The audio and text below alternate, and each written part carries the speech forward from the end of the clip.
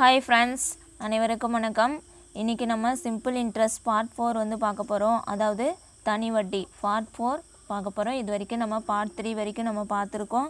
பார்க்காதவங்க சேனலுக்குள்ளே போனீங்கன்னா simple interest தனி வட்டி அப்படின்னு போட்டு தனி பிளேலிஸ்ட்டே இருக்கும். அதுக்குள்ளே போனீங்கன்னா part one part two videos எல்லாமே பார்க்கலாம். இன்றைக்கி நம்ம பார்ட் ஃபோர் வந்து பார்க்கலாம். இது வரைக்கும் நம்ம சேனலை சப்ஸ்கிரைப் பண்ணாதவங்க சப்ஸ்கிரைப் பண்ணுங்கள் பக்கத்தில் இருக்கிற பெல் பட்டன் ப்ரெஸ் பண்ணி ஆல் கொடுத்துக்கோங்க. அப்போ தான் வந்து வீடியோ போட்டால் நோட்டிஃபிகேஷன் கிடைக்கும். உங்களுக்கு நோட்ஸ் வேணும் அப்படின்னு சொல்லிட்டு நினச்சிங்கன்னா வீடியோக்கு கீழே டிஸ்கிரிப்ஷன் பாக்ஸில் டெலகிராம் குரூப்போட லிங்க் இருக்குது கிளிக் பண்ணி ஜாயின் பண்ணிக்கோங்க. ஓகே ஃப்ரெண்ட்ஸ் ஃபஸ்ட்டு சம் வந்து பார்க்கலாம். ஒரு குறிப்பிட்ட தொகை எட்டு சதவீத வட்டி வீதத்தில் ஐந்து ஆண்டுகளில் ஆயிரத்தி எண்பது ஆகிறது. சாரி பத்தாயிரத்தி எண்பது ஆகிறது எனில் அசலை காண்க அப்படின்னு சொல்கிறாங்க அதாவது தொகை அந்த பிரின்சிபல் வந்து என்னன்னு கொடுக்கல. ஏதோ ஒரு தொகை வந்து எட்டு சதவீத வட்டி வீதத்தில் அஞ்சு ஆண்டுகளில் பத்தாயிரத்தி எண்பது ரூபா அப்படின்னு சொல்லிட்டு ஆகுது. அப்போ அசல் என்ன அப்படின்னு சொல்லிட்டு கேட்குறாங்க இப்போ நமக்கு கொடுத்துருக்கிற டேட்டாஸ் யூஸ் பண்ணி நம்ம என்னென்னு சொல்லிட்டு எடுத்து எழுதிக்கலாம். ஆர் வந்து வட்டி வீதம். வட்டி வீதம் ஆர் வந்து எத்தனை பர்சன்டேஜ் அப்படின்னா எட்டு பர்சன்டேஜ் சொல்லியிருக்காங்க. ஆண்டு நம்பர் ஆஃப் இயர்ஸ் எத்தனை அப்படின்னு சொல்லிட்டு சொல்லியிருக்காங்க அப்படின்னு பார்த்தீங்கன்னா என் அதாவது ஃபைவ் இயர்ஸ் வந்து சொல்லியிருக்காங்க. மொத்தம் அந்த அஞ்சு வருஷத்தில் எவ்வளோ தொகையாக மாறுது அப்படின்னா பத்தாயிரத்தி எண்பது. அப்போ இது வந்து மொத்த தொகை. நம்ம என்ன கண்டுபிடிக்க சொல்கிறாங்க அப்படின்னு பார்த்தீங்கன்னா அசல் வந்து கேட்குறாங்க இப்போ இது மாதிரி மொத்த தொகை மட்டும் கொடுத்துட்டு அதாவது ரேட் ஆஃப் இன்ட்ரெஸ்ட் ஆர் கொடுத்துட்டு நம்பர் ஆஃப் இயர்ஸ் கொடுத்துட்டு மொத்த தொகை கொடுத்துட்டு இது மாதிரி பிரின்சிபல் கேட்டாங்கன்னா நம்ம எப்படி போடுறது அப்படி சொல்லிட்டு பார்க்கலாம். இது வரைக்கும் நம்ம பார்ட் த்ரீ வரைக்கும் வந்து சிம்பிள் இன்ட்ரெஸ்ட் எப்படியெல்லாம் கொஸ்டின் கேட்பாங்க அப்படின்ற மாதிரி தான் நம்ம கொஸ்டின் வந்து எடுத்து போட்டிருக்கோம். நீங்கள் அதை ஒவ்வொன்றும் ஒவ்வொரு மாடலாக கூட நீங்கள் ஃபாலோ பண்ணிக்கலாம். இப்போ பாருங்கள் இப்போ rate of interest number of years amount மொத்த தொகை கொடுத்துட்டு பிரின்சிபல் கேட்டாங்கன்னா எப்படி போடுறது அப்படின்னு பார்த்தீங்கன்னா நம்ம இப்போ மொத்த தொகை கண்டுபிடிக்கிறதுக்கான ஃபார்ம்லாம் நமக்கு தெரியும். A equal B plus I அப்போ பீனானது பிரின்ஸிபல் அசலையும் வட்டியும் வந்து நம்ம கூட்டினோன்னா நமக்கு மொத்த தொகை வந்து கிடச்சிரும். இப்போ இதில் நம்ம எப்படி ஃபாலோ பண்ணிக்கலாம் அப்படின்னு சொல்லிட்டு பார்த்திங்கன்னா நமக்கு மொத்த தொகை வந்து கொடுத்துருக்காங்க. பி அசல் தெரியாது. இன்ட்ரெஸ்ட் வந்து நமக்கு தெரியாது. ஆனால் இன்ட்ரெஸ்ட் கண்டுபிடிக்கிறதுக்கான ஃபார்முலா வந்து நமக்கு தெரியும்.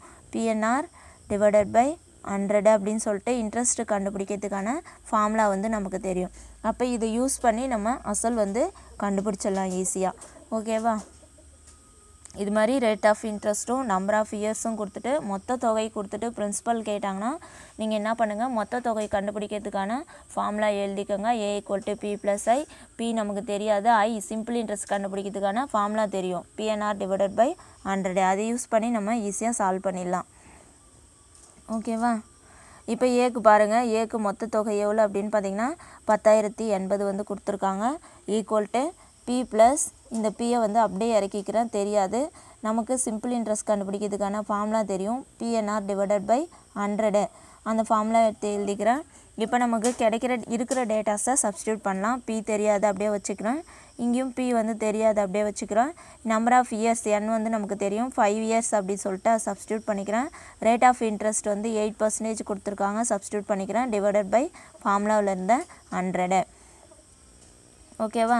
இப்போ என்ன பண்ணலாம் அப்படின்னு பார்த்தீங்கன்னா இந்த பி வந்து ப்ளஸில் இருக்குது இதை மட்டும் அப்படியே வச்சுக்கிட்டு இது எல்லாமே என்னவில் இருக்குது மல்டிபிளில் இருக்கா? அப்போ பெருக்கணும்னா எட்டு அஞ்சு நாற்பது நாற்பது இன்ட்டு பி நாற்பது பி டிவைடட் பை ஹண்ட்ரட் அப்படின்னு சொல்லிட்டு கிடைக்குதா?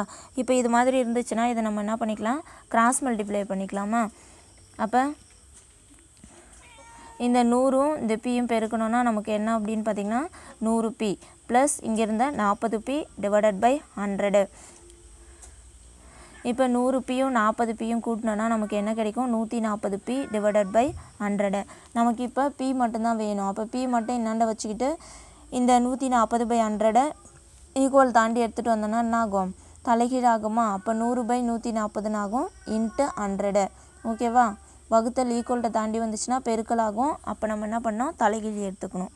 ஓகேவா இப்போ பி ஈக்குவல் டு ஆயிரத்தி எண் சாரி பத்தாயிரத்தி எண்பது இன்ட்டு நூறு டிவைடட் பை நூற்றி நாற்பது இதில் இருக்கிற ரெண்டு ஜீரோக்கும் இதுலேருந்து ஒரு ஜீரோ ஒரு ஜீரோ கேன்சல் ஆகிடும் மீதி அஞ்சால் அடித்தோம் அப்படின்னு ரெண்டால் அடித்தோம் அப்படின்னா ஐ ரெண்டு பத்து. அதாவது பத்தாயிரத்தி எண்பது இன்ட்டு நூறு டிவைடட் பை நூற்றி நாற்பதா இதில் ஒரு ஜீரோ ஒரு ஜீரோ கேன்சல் ஆகிடும் மீதி ரெண்டால் அடித்தோன்னா அஞ்சு ரெண்டு வந்து பத்து ஏழு ரெண்டு வந்து பதினாலு அப்படின்னு சொல்லிட்டு கிடைக்குமா? அப்படியே மீதி எடுத்து எழுதிப்போம். ஆயிரத்து பத்தாயிரத்தி எண்பது இன்ட்டு அஞ்சு டிவைடட் பை ஏழு. இப்போ இந்த ஏழையும் பத்தாயிரத்தி எண்பதையும் அடித்து பாருங்கள் ஆயிரத்தி நானூற்றி நாற்பதுன்னு சொல்லிட்டு வரும். அதுக்கப்புறம் இந்த ஆயிரத்தி நானூற்றி நாற்பதையும் அஞ்சையும் வந்து பெருக்கணும்னா ஆயிரத்தி நானூற்றி நாற்பதையும் அஞ்சையும் பெருக்கணும்னா ஏழாயிரத்தி இரநூறு அப்படின்னு சொல்லிட்டு கிடைக்கும். நமக்கு அசல் வந்து கிடைச்சிடுச்சு. ஏழாயிரத்தி இரநூறுவா. ஓகேவா? இது மாதிரி rate of interest number of years கொடுத்துட்டு மொத்த தொகை கொடுத்துட்டு பிரின்சிபல் கேட்டாங்கன்னா A equal to P plus I அந்த ஃபார்முலா ஞாபகம் வச்சுக்கோங்க. அதில் நமக்கு ஐ இன்ட்ரெஸ்ட்டுக்கான ஃபார்முலா பிஎன்ஆர் டிவைடட் பை ஹண்ட்ரடை சப்ஸ்டியூட் பண்ணி நீங்கள் அப்படியே போட்டுட்டே வந்தீங்கனாலே ஆன்சர் வந்து வந்துடும் இது ஒரு டைப் இந்த மாதிரி டைப் வந்து கேட்குறாங்க அடிக்கடி. சம் வந்து இவ்வளோ பெருசாக இருக்கே அப்படின்னு சொல்லிட்டுலாம் யாரும் யோசிக்காதீங்க. இது வந்து நம்ம ஸ்டார்டிங்கு நம்ம கற்றுக்குறோம் அது வந்து நிறைய தெரிஞ்சுக்கணும் விஷயம் தெரிஞ்சுக்கணுன்றதுக்காக தான். இப்போ நம்ம எக்ஸாமில் போயிட்டு A P A equal to பத்தாயிரத்தி எண்பது என் ஈக்குவல் டு அஞ்சு அப்படிலாம் எழுத மாட்டோம். டேரெக்டாக ஃபார்முலாவில் அப்படியே உட்காந்து சப்ஸ்டியூட் பண்ண வேண்டியது தான் அந்தளவுக்கு நீங்கள் வந்து ப்ராக்டிஸ் பண்ணணும். ரொம்ப ப்ராக்டிஸ் தான் தேவை. இவ்வளோ பெருசாக இருக்கெல்லாம் யோசிக்க தேவையில்ல. ஏன்னா நம்ம ஷார்ட்கட்லாம் வந்து ஞாபகம் வச்சுக்கிட்டோம் அப்படின்னு பார்த்தீங்கன்னா நமக்கு திடீர்னு கவுத்து விட்றோம் ஏதாவது ஒரு ஆர்டர் மாற்றி கொடுப்பாங்க. ஏதாவது நடக்கும் நம்ம கன்ஃபியூஸ் ஆகிடுவோம் ஷார்ட்கட் யூஸ் பண்ண முடியாமல் போயிடும். ஆனால் ஃபார்ம்லாம் அப்படின்னா எப்பயுமே வந்து மாறாது. நம்ம ஈஸியாக வந்து அடிச்சு போட்டு போயின்னே இருக்கலாம். அடுத்தது ரெண்டு பாருங்கள் ஒரு தொகை ஆண்டுக்கு பத்து சதவீத வட்டி வீதத்தில் ஐந்து ஆண்டுகளில் ரூபாய் பத்தாயிரத்தி ஐம்பதாக உயர்ந்தது எனில் அசலை காண்க. இது ஒரு டைப்பு அதாவது உயர்ந்தது இல்லை அப்படின்னா குறைந்தது அப்படின்னு சொல்லிட்டு கேட்பாங்க. இது மாதிரி உயர்ந்தது அப்படின்னா என்னென்னா கூட்டணும். குறைந்தது அப்படின்னு சொல்லிட்டு கொடுத்தாங்கன்னா கழிக்கணும். அந்த சம் வந்து நம்ம பார்ப்போம். பின்னாடி வரும். இப்போ உயர்ந்தது அப்படின்னு கொடுத்துருக்காங்களா? ஏதோ ஒரு தொகை. தொகைன்றது தான் இந்த இடத்துல அசல். என்ன ஆகுது அப்படின்னா ஆண்டுக்கு பத்து சதவீத வட்டி விதத்தில் R rate of interest N ஐந்து ஆண்டுகளில் ரூபாய் பத்தாயிரத்தி ஐம்பதாக உயர்ந்தது. ஏ வந்து கொடுத்துருக்காங்க. நம்ம போன மாடல் பார்த்தோம் இல்லையா? அதே மாதிரி தான் ஏ வந்து கொடுத்துருக்காங்க. பத்தாயிரத்தி ஐம்பது. அசல் என்ன அப்படின்னு சொல்லிட்டு கேட்குறாங்க கண்டுபிடிக்கலாம். பாருங்கள் A equal to P plus I ஓகேவா மொத்த amount கண்டுபிடிக்கிறதுக்கான formula A equal to P plus I நமக்கு பி வந்து தெரியாது. ஏ தெரியும். பத்தாயிரத்தி ஐம்பது. அதை வந்து நம்ம இங்கே சப்ஸ்டியூட் பண்ணிக்கிறோம். பி தெரியாது. அப்படியே போட்டுக்கிறோம். ஐ தனி வட்டிக்கான formula PNR divided by hundred P தெரியாது. இங்கேயும் பி தெரியாது. என் வந்து எவ்வளோ? நம்பர் ஆஃப் இயர்ஸ் வந்து ஃபைவ் கொடுத்துருக்காங்க. அதை சப்ஸ்டியூட் பண்ணிக்கிறோம். Rate of interest R ten percentage divided by ஃபார்முலாவில் இருந்த ஹண்ட்ரடு இப்போ என்ன ஆகும் அப்படின்னு பார்த்தீங்கன்னா இதில் பத்தில் இருந்த ஒரு ஜீரோக்கும் நூறில் ரெண்டு ஜீரோக்கு ஒரு ஜீரோ அடிபட்டுரும். மீதி இங்கே அஞ்சு பை பத்துன்னு இருக்குமா? ஒரு அஞ்சு அஞ்சு ரெண்டு அஞ்சு பத்து அப்படின்னு சொல்லிட்டு நம்ம அடித்து போட்டுட்டோன்னா மீதி P plus P by two அப்படின்னு சொல்லிட்டு இருக்கும். இதை கிராஸ் மல்டிப்ளை எடுத்தோம் அப்படின்னு பார்த்தீங்கன்னா கிராஸ் மல்டிப்ளை எடுத்தோன்னா two into P two P plus P divided by two அப்படின்னு சொல்லிட்டு கிடைக்குமா? அப்போ three P divided by two நமக்கு பி தான் வேணும். அப்போ த்ரீ டிவைடட் பை டூவை ஈக்குவல்கிட்ட தாண்டி எடுத்துன்னு போகிறோம் அப்போ two divided by three in அப்படின்னு சொல்லிட்டு ஆகுது அதாவது வகுத்தல் ஈக்குவல்ட்டை தாண்டி போனால் பெருக்கலாக மாறும் தலைகீழ் எடுத்துக்கணும். ஓகேவா அதுக்கப்புறம் பாருங்கள் இந்த மூணுக்கும் பத்தாயிரத்தி ஐம்பதுக்கும் அடித்தோம் அப்படின்னு பார்த்தோன்னா மூணாயிரத்தி முந்நூற்றி ஐம்பது அப்படின்னு சொல்லிட்டு வரும். Into two equal to P இந்த மூணாயிரத்தி முந்நூற்றி ஐம்பது ரெண்டால் பெருக்கணும்னா நமக்கு எவ்வளோ கிடைக்குது அப்படின்னு பார்த்தோன்னா ஆறாயிரத்தி எழுநூறு அப்படின்னு சொல்லிட்டு கிடைக்குது. நமக்கு அசல் வந்து எவ்வளோ ஆறாயிரத்தி எழுநூறு. இங்கே அடித்து போட்டிருக்கேன் பாருங்கள் பெருக்கி காமிச்சிருக்கேன். ஆறாயிரத்தி எழுநூறுவா அப்படின்னு சொல்லிட்டு கிடைக்கிது. அடுத்தது வந்து நம்ம தேர்ட் சம்க்கு வந்து போயிடலாம். அடுத்து தேர்ட் சம் வந்து பாருங்கள் தொள்ளாயிரமானது மூணு சதவீத தனி வட்டியில் நூற்றி நாற்பத்தாறு நாளில் என்ன தொகையாக மாறும்? இப்போ இது மாதிரி டேஸ் கொடுத்தாங்கன்னா நான் என்ன சொல்லியிருக்கேன் அப்படின்னு பார்த்தீங்கன்னா முந்நூற்றி அறுபத்தஞ்சால் டிவைட் பண்ணி போடணும் அப்படின்னு சொல்லிட்டு சொல்லியிருக்கேன் இல்லையா? அப்போ தொள்ளாயிரம் தொள்ளாயிரமானது மூணு சதவீத தனி வட்டியில். அப்போ எவ்வளோ அசல் அப்படின்னு பார்த்தீங்கன்னா தொள்ளாயிரம். அப்போ எடுத்து எழுதிக்கிறேன் தனி வட்டி அதாவது ரேட் ஆஃப் இன்ட்ரெஸ்ட்டை மூணு percentage N number of years எவ்வளோ கொடுத்துருக்காங்க? நூற்றி நாற்பத்தாறு நாட்கள். இப்போ இது மாதிரி நூற்றி நாற்பத்தாறு நாட்கள் அப்படின்னு சொல்லிட்டு கொடுத்துருந்தாங்க அப்படின்னா நம்ம முந்நூற்றி அறுபத்தஞ்சால் டிவைட் பண்ணிக்கணும். இப்போ ஓ ரெண்டு எழுபத்தி மூணு எவ்வளோ அப்படின்னு பார்த்தீங்கன்னா நூற்றி நாற்பத்தி ஆறு அப்படின்னு சொல்லிட்டு வரும். அப்போ அஞ்சு எழுபத்தி மூணு வந்து முந்நூற்றி அறுபத்தி அஞ்சு. என்னோட வேல்யூ எவ்வளோ அப்படின்னா டூ பை ஃபைவ் ஓகேவா என்ன கேட்டிருக்காங்க? எவ்வளோ தொகையை வந்து எவ்வளோ அப்படின்னு சொல்லிட்டு தான் கேட்டிருக்காங்க. இப்போ நம்ம தொகை தான் கண்டுபிடிக்க போகிறோம் தொகையை கண்டுபிடிக்கணும்னா நமக்கு என்ன தெரிஞ்சிருக்கணும் அப்படின்னா இன்ட்ரெஸ்ட் வந்து தெரிஞ்சிருக்கணும். இப்போ interest கண்டுபிடிச்சிக்கலாமா? First simple interest equal to PNR divided by hundred P அசல் வந்து தொள்ளாயிரம். சப்ஸ்டியூட் பண்ணிக்கிறோம். என் வந்து நமக்கு கண்டுபிடிச்சி வச்சுருக்கோம் இல்லையா?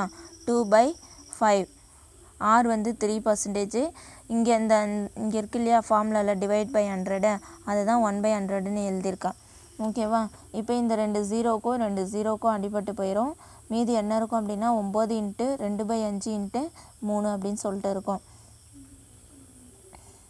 ஓகேவா இப்போ இதை பெருக்குனிங்கன்னா என்ன கிடைக்கும் அப்படின்னா மூ ரெண்டு இந்த மூணையும் ரெண்டையும் பெருக்குனிங்கன்னா மூ ரெண்டு ஆறு ஒம்பது இன்ட்டு ஆறு டிவைடட் பை அஞ்சு அப்படின்னு சொல்லிட்டு கிடைக்கும். இப்போ ஆறு ஒம்பது எவ்வளோ அப்படின்னு பார்த்தீங்கன்னா ஐம்பத்தி நாலு ஐம்பத்தி நாலு டிவைடட் பை அஞ்சு.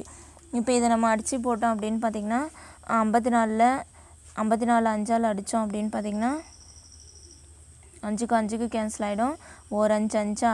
மீதி எவ்வளோ இருக்குது நாலு இருக்குது நாலு வந்து அஞ்சில் வந்து நாலு அடங்குமா? அப்படின்னு பார்த்தீங்கன்னா நாலில் வந்து அஞ்சு வந்து அடங்காது. அப்போ நம்ம என்ன பண்ணுறோம் அப்படின்னு பார்த்தீங்கன்னா ஒரு ஜீரோ சேர்த்துக்கிறோம். அப்போ ஜீரோ சேர்த்தனா இங்கே என்ன ஆகுது அப்படின்னா நாற்பதுன்னு ஆகுது. அப்போ ஜீரோ சேர்த்து புள்ளி வச்சுப்போம் இல்லையா? ஒரு ஸ்தானம் தள்ளி புள்ளி வச்சுக்கிறோம். அப்போ இதை அடித்து போட்டோம் அப்படின்னு பார்த்தோன்னா எட்டஞ்சு நாற்பது அப்படின்னு சொல்லிட்டு நமக்கு கிடைக்கும். ஓகேவா? அப்போ பத்து புள்ளி எட்டு தான் வந்து என்னதுன்னா சிம்பிள் இன்ட்ரெஸ்ட்டு இப்போ நமக்கு என்ன கேட்டிருக்காங்க? மொத்த தொகை வந்து கேட்டிருக்காங்க. அப்போ மொத்த தொகை கண்டுபிடிக்கணும்னா நமக்கு பிரின்சிபல் ப்ளஸ் இன்ட்ரெஸ்ட்டு அப்போ ப்ரின்ஸிபல் தொள்ளாயிரம் இன்ட்ரெஸ்ட் வந்து பத்து புள்ளி எட்டு கூட்டினோன்னா தொள்ளாயிரத்தி பத்து புள்ளி எட்டு. இப்போ இந்த அடித்து போடுறதுல வந்து தெளிவாக இருங்க ஐம்பத்தி நாலு பை அஞ்சு. நமக்கு ஆல்ரெடி அஞ்சால் அடிச்சுனா கூட ஓர் அஞ்சு அஞ்சு பைத்தஞ்சு வந்து ஐம்பது அப்படின்னு சொல்லிட்டு ஈஸியாக வந்துருமா? மீதி எத்தனை இருக்குது இங்கே நாலு இருக்குது அப்போ அடங்காது.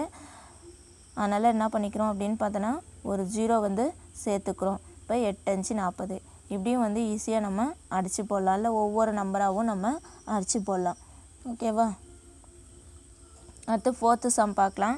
ஒரு அசலானது நாலு சதவீத வட்டி வீதத்தில் ஐந்து வருடங்களில் தொள்ளாயிரத்தி அறுபதாக மாறுகிறது எனில் அசல் என்ன அப்படின்னு கேட்குறாங்க இங்கேயும் பாருங்கள் அதே மாதிரி தான் மொத்த தொகை வந்து கொடுத்துருக்காங்க. அசல் வந்து கேட்குறாங்க அப்படின்னா நம்ம என்ன பண்ணோம் rate of interest four percentage எத்தனை வருடம்? அஞ்சு வருடங்களில் நம்பர் ஆஃப் இயர்ஸ் ஃபைவ் எவ்வளோ தொகையாக மாறுது? ஒம்பதாயிரத்தி அறநூறாக மாறுது. அப்போ அசல் என்ன அப்படின்னு சொல்லிட்டு கேட்குறாங்க இப்போ நம்ம என்ன பண்ணலாம்? நமக்கு ஆல்ரெடி ஃபஸ்ட்டு சம்லேயும் சொல்லியிருக்கேன்.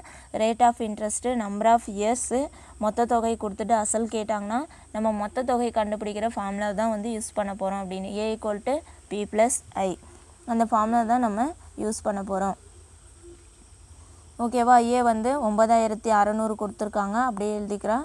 பி நமக்கு தெரியாது. சிம்பிள் இன்ட்ரெஸ்ட் கண்டுபிடிக்கிறதுக்கான ஃபார்முலா வந்து தெரியும். பிஎன்ஆர் டிவைடட் பை ஹண்ட்ரடு இப்போ இந்த பி ப்ளஸ் பி தெரியாது. என் நம்பர் ஆஃப் இயர்ஸ் வந்து ஃபைவ்னு கொடுத்துருக்காங்க. அதை எடுத்து சப்ஸ்டியூட் பண்ணிக்கிறேன் ரேட் ஆஃப் இன்ட்ரெஸ்ட் எவ்வளோ அப்படின்னா four percentage divided by hundred இப்போ என்ன பண்ணலாம் அப்படின்னு பார்த்தீங்கன்னா இப்போ இதை நம்ம வந்து பெருக்கிக்கலாமா? இந்த அஞ்சு நாலையும் பெருக்கணும்னா எவ்வளோ அப்படின்னா இருபது இருபது இன்ட்டு பி இருபது பின்னு கிடைக்கும் டிவைடட் பை ஹண்ட்ரடு இப்போ நம்ம இதை கிராஸ் மல்டிப்ளை எடுத்தோன்னா நூறு இன்ட்டு பி நூறு பி ப்ளஸ் இருபது பி டிவைடட் பை ஹண்ட்ரடு நூறு பி இருபது பி கூட்டினோன்னா நூற்றி இருபது பி டிவைடட் பை ஹண்ட்ரடு இதுலேருந்து ஒரு ஜீரோக்கு ஒரு ஜீரோ கேன்சல் ஆகிடும் மீதி ரெண்டால் அடித்தோன்னா ஐ ரெண்டு வந்து பத்து ஆறு ரெண்டு பன்னெண்டு. இப்போ என்ன கிடைக்கும் அப்படின்னு பார்த்தீங்கன்னா ஆறு பி டிவைடட் பை ஃபைவ் அஞ்சு அப்படின்னு சொல்லிட்டு கிடைக்கும். நமக்கு பி தான் வேணும். அப்போ நம்ம பி எந்தாண்ட வச்சுக்கிட்டு ஆறு பை அஞ்சு ஈக்குவல்கிட்ட தாண்டி எடுத்துகிட்டு போனோன்னா என்னாகும் தலைகீழி ஆகும். அஞ்சு பை ஆறு அப்படின்னு சொல்லிட்டு மாறும். இன்ட்டு இதுவும் கூட வந்து பெருக்கல் ஆகிடும் இப்போ என்ன பண்ணிக்கலாம் அப்படின்னா இதை அடிக்கலாமா? அர்ச்சனா ஒம்போதில் எத்தனை ஆறு இருக்குது அப்படின்னு பாருங்கள் ஒம்பதாயிரத்தி அறநூறு டிவைடட் பை ஆறு. ஒம்போதில் வந்து ஒரு ஆறு இருக்குது மீதி மூணு முப்பத்தாறு. ஆறாறு முப்பத்தாறு இங்கே இருக்கிற ரெண்டு ஜீரோ அப்படியே வந்து வந்துடும் இதை அடித்து போட்டோன்னா ஆயிரத்தி அறநூறு அப்படின்னு சொல்லிட்டு கிடைக்கும்.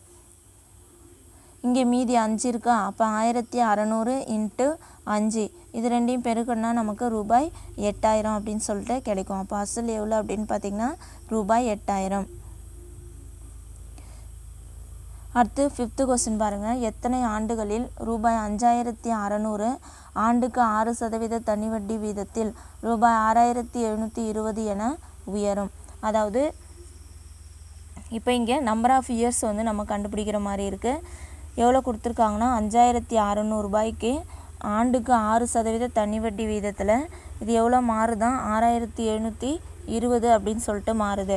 அப்போ அது எத்தனை வருஷத்தில் அந்த தொகை வந்து அஞ்சாயிரத்தி அறநூறு வந்து ஆறாயிரத்தி எழுநூற்றி இருபதாக மாறி இருக்கும் அப்படின்றது தான் கொஸ்டின் நம்ம கொடுத்துருக்கிற டேட்டாஸை வந்து நம்ம எடுத்து எழுதிக்கலாம். பி அசல் எவ்வளோ கொடுத்துருக்காங்கன்னா அஞ்சாயிரத்தி அறநூறு கொடுத்துருக்காங்க. Rate of interest six percentage number of years தெரியாது. மொத்த தொகை எவ்வளோ கொடுத்துருக்காங்க? ஆறாயிரத்தி ஏ எழுநூற்றி இருபது கொடுத்துருக்காங்க. இப்போ நம்ம என்ன ஏற்கனவே சொல்லியிருக்கோம் இல்லையா? மொத்த தொகை கொடுத்துட்டு நம்மளை வந்து பிரின்ஸிபல் கேட்டாலோ இல்லை ரேட் ஆஃப் இன்ட்ரெஸ்ட் கேட்டாலோ இல்லை நம்பர் ஆஃப் இயர்ஸ் கேட்டாலோ எப்படி கண்டுபிடிக்கிறதுன்னு நமக்கு தெரியும்.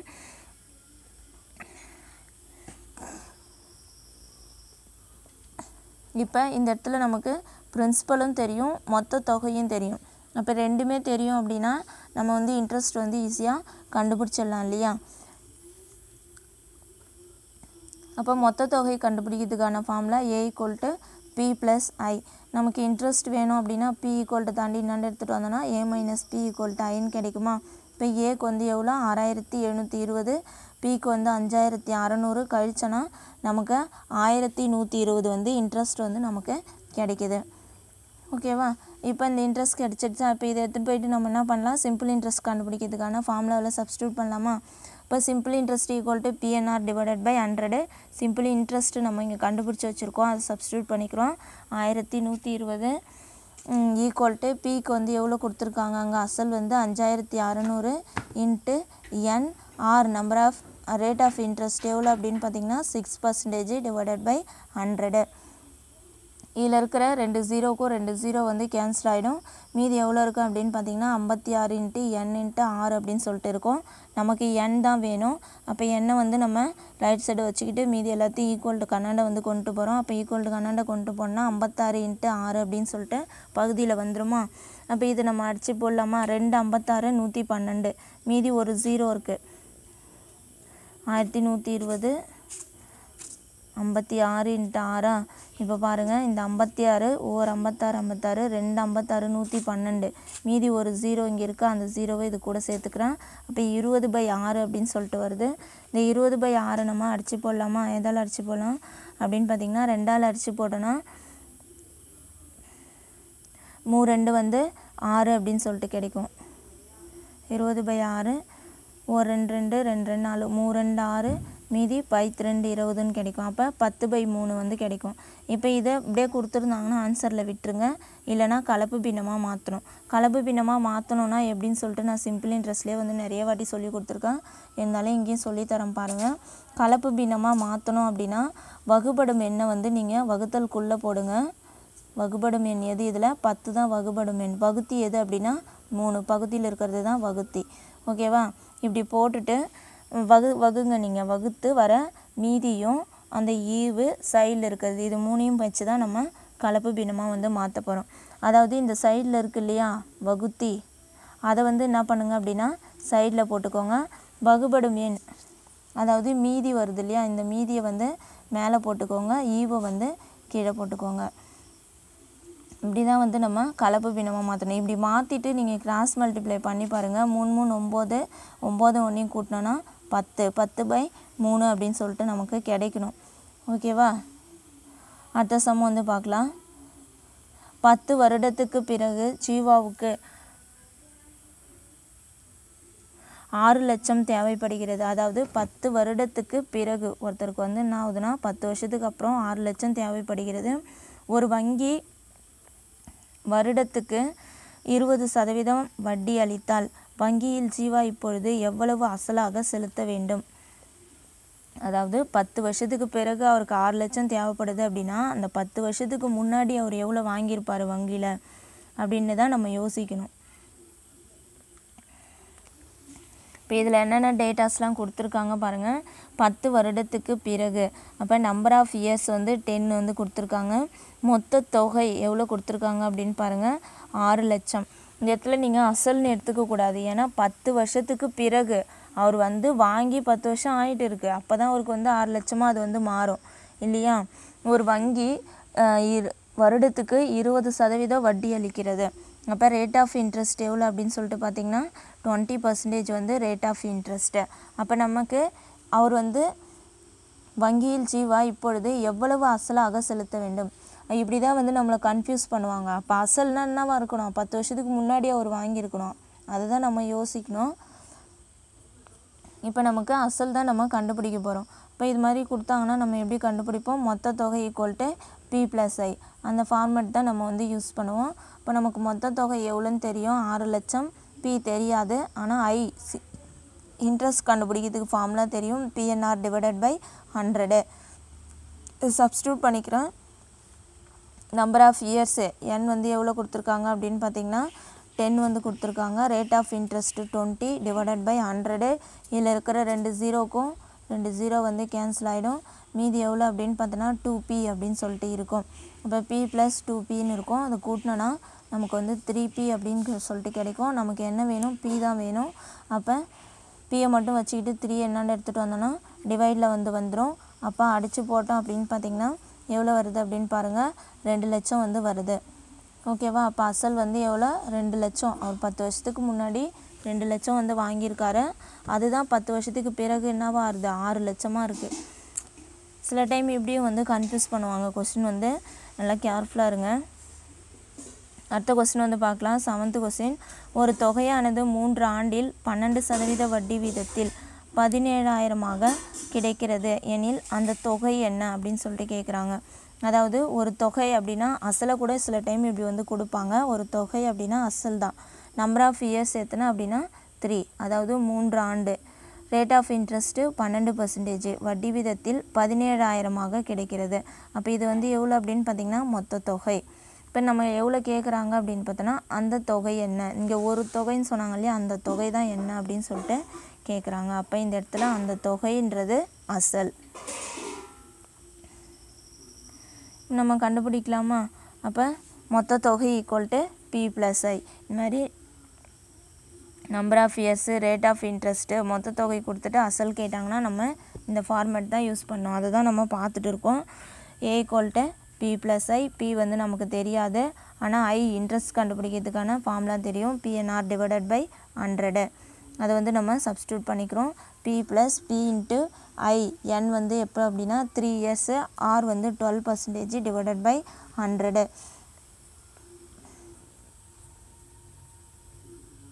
ஓகேவா? இப்போ இதை பெருக்கணும்னா இந்த மூணையும் பன்னெண்டையும் பெருக்கணும்னா முப்பத்தாறு முப்பத்தி ஆறு இந்த பியும் பெருக்கணும்னா முப்பத்தாறு பி டிவைடட் பை ஹண்ட்ரடு இப்போ இதை கிராஸ் மல்டிப்ளை எடுத்தோம் அப்படின்னு பார்த்தீங்கன்னா மூ நூறு பி ப்ளஸ் முப்பத்தாறு பி டிவைடட் பை ஹண்ட்ரடு கூட்டினா நூற்றி முப்பத்தாறு பி டிவைடட் பை ஹண்ட்ரடு அப்படின்னு சொல்லிட்டு கிடைக்கும். நமக்கு என்ன வேணும் அப்படின்னா நமக்கு பி தான் வேணும். அப்போ பியை வச்சுக்கிட்டு இந்த நூற்றி முப்பத்தாறு டிவைடட் பை ஹண்ட்ரடை ஈக்குவல்ட்டுக்கு என்னாண்ட கொண்டு வரோம் அப்படின்னா நூறு பை நூற்றி முப்பத்தாறுன்னு மாறுமா? இப்போ பதினேழாயிரம் இன்ட்டு நூறு பை நூற்றி முப்பத்தி ஆறு அப்படின்னு சொல்லிட்டு மாறுது. இப்போ இதை நம்ம ரெண்டால் அடித்து போடலாம். உங்களுக்கு எந்த நம்பர் ஈஸியாக தெரியுமோ அதிலே அடித்து போடுங்க. ரெண்டால் அடித்து போட்டோன்னா அறுபத்தி எட்டு ரெண்டு நூற்றி முப்பத்தாறு நூறு ரெண்டு வந்து ஐம்பது ரெண்டு வந்து நூறு அப்புறம் பதினேழாயிரம் இன்ட்டு ஐம்பது பை அறுபத்தி எட்டுன்னு கிடைக்குது. மறுபடியும் நான் அதை வந்து ரெண்டால் அடிக்கிறேன். இருபத்தஞ்சி ரெண்டு ஐம்பது முப்பத்தி நாலு ரெண்டு வந்து அறுபத்தி எட்டு ஓகேவா? இப்போ அடித்து போடுறேன். அதுக்கப்புறம் பாருங்கள்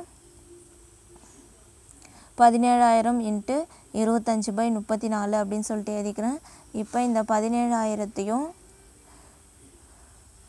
இன்ட்டு இருபத்தஞ்சி டிவைடட் பை முப்பத்தி நாலு இப்போ அதாச்சுன்னா அடிச்சுன்னா ஒரு பதினேழு பதினேழு ரெண்டு பதினேழு எவ்வளோ அப்படின்னு பார்த்தீங்கன்னா முப்பத்தி நாலு அப்படின்னு சொல்லிட்டு கிடைக்கும்.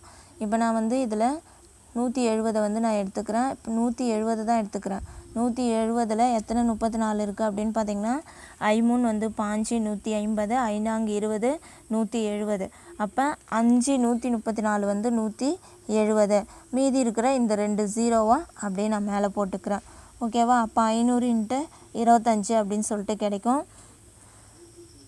இப்போ இந்த ஐநூறு இன்ட்டு இருபத்தஞ்சு நம்ம மல்டிபிள் பண்ணோன்னா பன்னெண்டாயிரத்தி ஐநூறுரூபா வந்து கிடைக்குது. எவ்வளோ அப்படின்னா பி அசல் வந்து பன்னெண்டாயிரத்தி ஐநூறுரூவா கிடைக்குது. அடித்து போடுறப்பையும் கொஞ்சம் கேர்ஃபுல்லாக இருங்க. அடுத்த சம் வந்து பார்க்கலாம். ஒரு குறிப்பிட்ட காலத்துக்கு ரூபாய் நாலாயிரத்தி ஐநூறு அசலுக்கு மொத்த தொகை ரூபாய் அஞ்சாயிரம் கிடைத்தால் அதனுடைய தனி வட்டி என்ன? இதை வந்து நம்ம எந்த ஃபார்முலாவும் யூஸ் பண்ணவே தேவையில்ல. ஒரு குறிப்பிட்ட காலத்துக்குன்னு சொல்கிறாங்க நாலாயிரத்தி ஐநூறு அசல். அப்போ பி வந்து எவ்வளோ அப்படின்னு பார்த்தீங்கன்னா நாலாயிரத்தி ஐநூறுரூபா பி அசலுக்கு மொத்த தொகை அஞ்சாயிரம் வந்து கிடைக்குது. மொத்த தொகை எது? அஞ்சாயிரம் கிடைத்தால் அதனுடைய தனி வட்டி என்ன? அப்போ நமக்கு தெரியும் மொத்த தொகை A equal to P plus I அப்படின்னு சொல்லிட்டு தெரியும். நமக்கு இப்போ தனி வட்டி தான் கேட்குறாங்க அப்போ A minus P equal to I அப்போ நமக்கு தெரியும் ஏ வந்து அஞ்சாயிரம் பி வந்து அசல் நாலாயிரத்தி ஐநூறு கழிச்சோன்னா நமக்கு ஐநூறு அப்படின்னு சொல்லிட்டு தெரியும். இது ஈஸியாக சம்மு பார்த்தோன்னே நமக்கு ஈஸியாக வந்து தெரிஞ்சிடும். ஓகேவா இருந்தாலும் இது மாதிரி சம்மு வந்து கேட்டிருக்காங்க. இது மாதிரி சில சிம்பிளாக வந்து கொஸ்டின் கேட்டுருவாங்க. பாருங்கள் அடுத்தது ஒம்போதாவது சம் பாருங்கள் பின்வரும் வட்டி வீதத்தில் எது?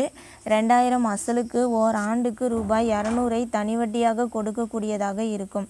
அதாவது ஆப்ஷன் பாருங்கள் ten percentage twenty percentage fifteen percentage five percentage அப்படின்னு சொல்லிட்டு கொடுத்துருக்காங்க.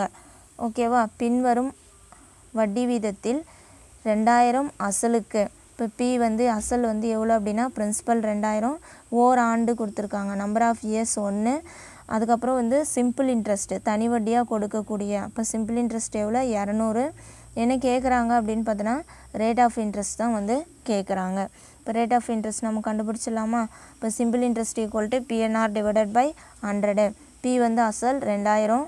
சப்ஸ்டியூட் பண்ணிக்கிறோம். நம்பர் ஆஃப் இயர்ஸ் வந்து ஒன்று சப்ஸ்டியூட் பண்ணிக்கிறோம். ஆர் ரேட் ஆஃப் இன்ட்ரெஸ்ட்டை வந்து நமக்கு தெரியாது. அப்படியே வச்சுக்கிறோம். டிவைடட் பை ஹண்ட்ரடு இப்போ இந்த ஹண்ட்ரடில் இருக்கிற ரெண்டு ஜீரோவுக்கும் இதில் இருக்கிற ரெண்டு ஜீரோவுக்கும் கேன்சல் ஆகிடும் மீதி எவ்வளோ இருக்கும் அப்படின்னா இருபது இருக்கும். நமக்கு ஆறு மட்டும்தான் வேணும். அதனால் ஆறை வச்சுக்கிட்டு இருபது என்னாண்டு எடுத்துகிட்டு வந்தோன்னா வகுத்தலாம் மாறும்.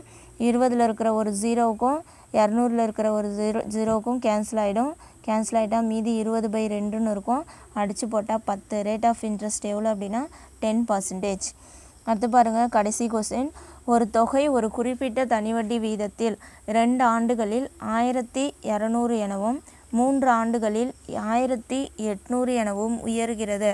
எனில் அந்த தொகையையும் வட்டி வீதத்தையும் காண்க.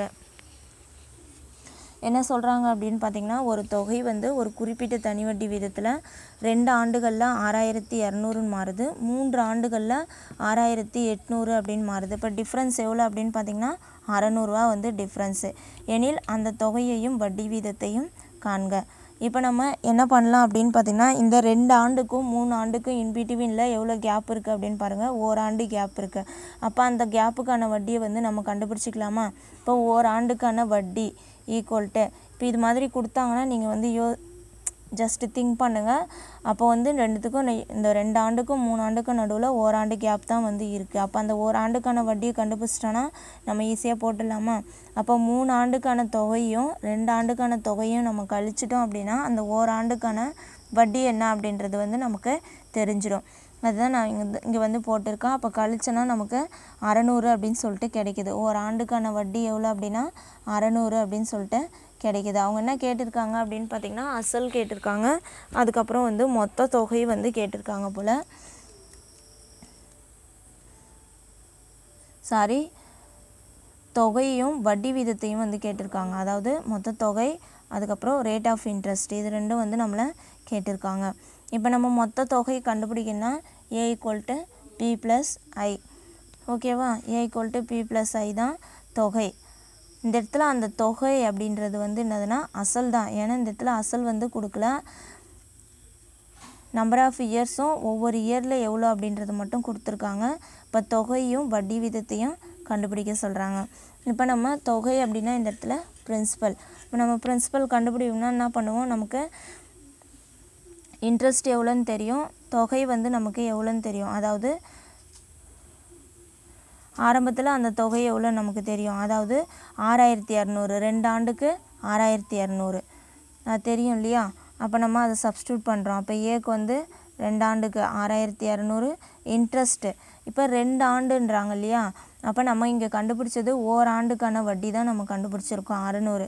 அப்போ ரெண்டு ஆண்டுக்குன்னும் போது அந்த வட்டி எவ்வளோவா மாறும் அப்படின்னா ஆயிரத்தி இரநூறா வந்து மாறும். அதுதான் இங்கே சப்ஸ்டியூட் பண்ணியிருக்கேன். தெ தெளிவாக பார்த்துக்கோங்க ஆயிரத்தி இரநூறு இது ஈக்குவல் டு பி ஓகேவா இப்போ ஆறாயிரத்தி இரநூறுலேருந்து ஆயிரத்தி இரநூறு நம்ம கழிச்சோம் அப்படின்னா ஐநூறு. நமக்கு அந்த தொகை வந்து கிடைச்சிடுது அசல். ஓகேவா அதுக்கப்புறம் என்ன கேட்டிருக்காங்க? ரேட் ஆஃப் இன்ட்ரெஸ்ட் வந்து கேட்டிருக்காங்க. அப்போ simple interest equal to P N R divided by hundred நமக்கு தெரியும் சிம்பிள் இன்ட்ரெஸ்ட்டு நம்ம எவ்வளோ கண்டுபிடிச்சிருக்கோம் அப்படின்னு பார்த்தீங்கன்னா அறநூறு வந்து கண்டுபிடிச்சிருக்கோம். அறநூறு ஈக்குவல் டு பி அசல் நம்ம இப்போ இங்கே எவ்வளோ கண்டுபிடிச்சோம்? Five thousand into number of years one year into rate of interest தான் நம்மளை கேட்குறாங்க டிவைடட் பை ஹண்ட்ரடு இப்போ இந்த ரெண்டு ஜீரோ ரெண்டு ஜீரோ கேன்சல் ஆயிடுச்சுன்னா மீதி ஐம்பது இன்ட்டு ஆறு அப்படின்னு சொல்லிட்டு இருக்கோம். நமக்கு ஆறு தான் தேவை. ஐம்பது ஈக்குவல்ட்டு தாண்டி வந்துச்சுன்னா வகுத்துலாம் மாறும். ஒரு ஜீரோக்கு ஜீரோ கேன்சல் ஆகிடும் மீதி வந்து அப்போ அறுபது பை அஞ்சுன்னு இருக்கும். பன்னெண்டு அஞ்சு அறுபது. அப்போ ஆறு ஈக்குவல்ட்டு பன்னெண்டு பர்சன்டேஜ் அப்படின்னு சொல்லிட்டு கிடைக்கும். ஓகேவா அப்போ நமக்கு தொகை வந்து five thousand comma rate of interest twelve percentage இதுதான் வந்து ஆன்சர் இப்போ இது மாதிரி சம் கேட்டாங்கன்னா நீங்கள் வந்து இப்படி போடுங்க. அதாவது ஒரு தொகை ஒரு குறிப்பிட்ட தனி வட்டி வீதத்தில் எவ்வளவா மாறுது? ரெண்டு ஆண்டுகளில் ஆயிரத்தி இரநூறா மாறுது. அந்த தொகை வந்து எவ்வளோன்றது நமக்கு தெரியாது. ஆனால் ரெண்டு வருஷத்தில் ஆயிரத்தி இரநூறா மாறுது. மூணு வருஷத்தில் ஆயிரத்தி எட்நூறா மாறுது. எனில் அந்த தொகை வட்டியை காண்க அப்படின்னு தான் கேட்குறாங்க இப்போ அந்த தொகைனா இந்த இடத்துல என்னது? பிரின்சிபல் ஓகேவா அப்போ ரெண்டு வருஷத்தில் ஆறாயிரத்தி இரநூறா மாறுது. அப்போ அந்த தொகை வந்து எவ்வளவா இருக்கும் அப்படின்றது தான் நம்ம கண்டுபிடிக்க போகிறோம் இப்போ ரெண்டு ஆண்டுக்கு மூணு ஆண்டுக்கு இன்பிட்வீன் கேப் எவ்வளோ இருக்குது ஓராண்டு. அப்போ இந்த மூணு ஆண்டுடைய தொகையும் இந்த ரெண்டு ஆண்டில் மாறின தொகையும் நம்ம கழிச்சோன்னா நமக்கு ஓராண்டுக்கான வட்டி வந்து கிடச்சிரும். அதை தான் நம்ம இங்கே செஞ்சுருக்கோம். அறநூறு. ஓகேவா? இப்போ நமக்கு வந்து பிரின்சிபல் கண்டுபிடிக்கணும். இப்போ நமக்கு என்னென்ன தெரியுது அப்படின்னு பாருங்கள் மொத்த தொகை வந்து தெரியுது. அதாவது ஆறாயிரத்தி இரநூறு. ஏதோ ஒரு தொகை ஆறாயிரத்தி இரநூறா ரெண்டு வருஷத்தில் மாறுதுன்னு தெரியுது. அதுக்கான இன்ட்ரெஸ்ட் ஒன்று ஒரு வருஷத்துக்கான இன்ட்ரெஸ்ட் தெரியுது அறநூறு. அப்போ நம்ம என்ன பண்ணலாம்? A equal to P plus I ஃபார்மில் யூஸ் பண்ணி கண்டுபிடிச்சிடலாமா? அப்போ A equal to P plus I ஃபார்மில் யூஸ் பண்ணோன்னா நமக்கு பி தான் தேவை. அப்போ ஏ என்னாண்ட ஐ என்னாண்ட வந்துச்சுன்னா மைனஸாக மாறிடும். அப்போ ரெண்டு ஆண்டுகளில் தொகை எவ்வளவா மாறுச்சு? ஏதோ ஒரு தொகை ஆறாயிரத்தி இரநூறா மாறுச்சு இல்லையா? அப்போ அதுதான் வந்து மொத்த தொகை. இப்போ இதுதான் வந்து மொத்த தொகை. அப்போ இது மொத்த தொகை ரெண்டு ஆண்டுகளில் ஆறாயிரத்தி இரநூறா மாறி இருக்குது அப்போ அந்த மொத்த தொகை அப்போ அதோட வட்டி நம்ம எவ்வளோ கண்டுபிடிச்சி வச்சுருக்கோம்? ஒரு ஆண்டுக்கு அறநூறுன்னு கண்டுபிடிச்சி வச்சுருக்கோம். அப்போ இங்கே ரெண்டு ஆண்டுன்னு இருக்குது அப்போ நம்ம அதை என்ன பண்ணிக்கணும்? ஆயிரத்தி இரநூறு அப்படின்னு சொல்லிட்டு ரெண்டால் பெருக்கிக்கணும். அப்போ ஆயிரத்தி இரநூறு கழிச்சனா பி அசல் வந்து அஞ்சாயிரம் கிடைக்குது. இப்போ நம்ம என்ன ரேட் ஆஃப் இன்ட்ரெஸ்ட் வந்து கேட்டிருக்காங்க? அப்போ simple interest equal to P N R divided by hundred அந்த ஃபார்முலாவில் நம்ம சப்ஸ்டியூட் பண்ணி போட்டோன்னா டுவெல் பர்சன்டேஜ் அப்படின்னு சொல்லிட்டு வருது. ஓகே ஃப்ரெண்ட்ஸ் இதோட வந்து இந்த வீடியோ கம்ப்ளீட் ஆகுது. வீடியோ பிடிச்சிருந்தா லைக் பண்ணுங்கள் ஷேர் பண்ணுங்கள் ஏதாச்சும் டவுட் இருந்தால் கமெண்ட் பண்ணுங்கள் தேங்க்யூ